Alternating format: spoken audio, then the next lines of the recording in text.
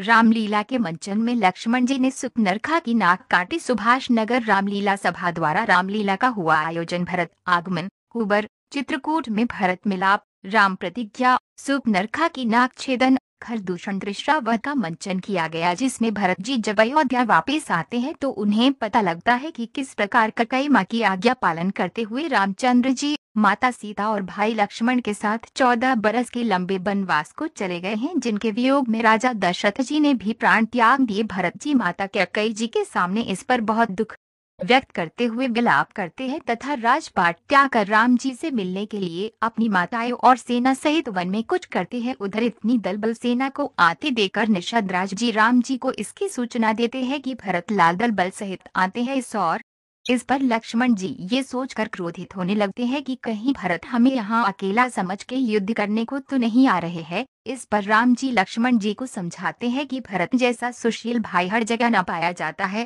और ये भी समझाते हैं कि भरत कभी ऐसा कर ही नहीं सकता जैसा कि लक्ष्मण जी सोच रहे हैं। भरत जी जब रामचंद्र जी के पास आते हैं तो उन्हें मनाने और वापस अयोध्या चलने के लिए बहुत आग्रह करते हैं और माँ के द्वारा दी गई आज्ञा के लिए पश्चाताप करते हुए विलाप करते हैं। पर प्रभु श्रीमान राम कहते हैं कि जो एक बार कुछ निश्चय कर फिर उस निश्चय से टलता है, उसका टलना चंचलता है, निज आत्मा की दुर्बलता है और वापस अयोध्या जाने से मना कर देते हैं। गुरु वशिष्ठ जी के कहे अनुसार भरत जी राम जी की चरण पादुका लाकर चौदह साल तक रामचंद्र जी के नाम से राज चलाने को तैयार होते हैं तथा रामचंद्र जी के बिना बहुत ही उदास मन से अयोध्या वापिस आ जाते हैं। उधर पंचवट्टी में सुपनाखा जब राम लक्ष्मण जी को देखती है तो उनसे विवाह करने का प्रस्ताव रखती है। इस पर श्रीमान रामचंद्र जी सुपनाखा को कहते हैं की हम बारे नहीं विवाहित है।